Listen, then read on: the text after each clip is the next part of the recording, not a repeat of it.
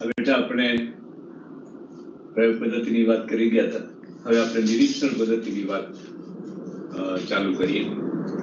હવે આપણે ખબર છે કે નિરીક્ષણ શરૂ થઈ શકે છે. તો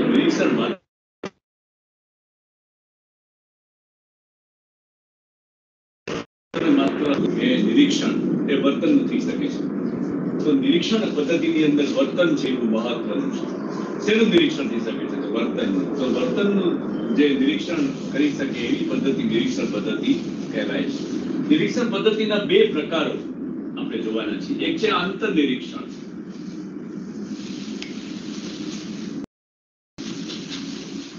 અને બીજું છે બાહ્ય નિરીક્ષણ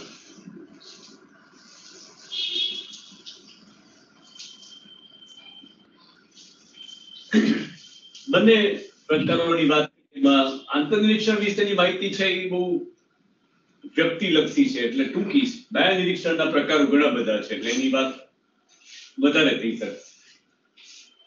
આંતરનિરીક્ષણ એટલે શું? તો વ્યક્તિએ પોતાના મનમાં ચાલતા વિચારોનું નિરીક્ષણ કરવું. તમને નવાઈ લાગશે કે મનમાં ચાલતા વિચારોનું નિરીક્ષણ કેમ કરવું? એટલે કે આંતરદ્રષ્ટિ કરવી. પોતાના મન વિશે જાણવાનો પ્રયત્ન કરવો. પોતાનું મન જાણવું મન જાણવું.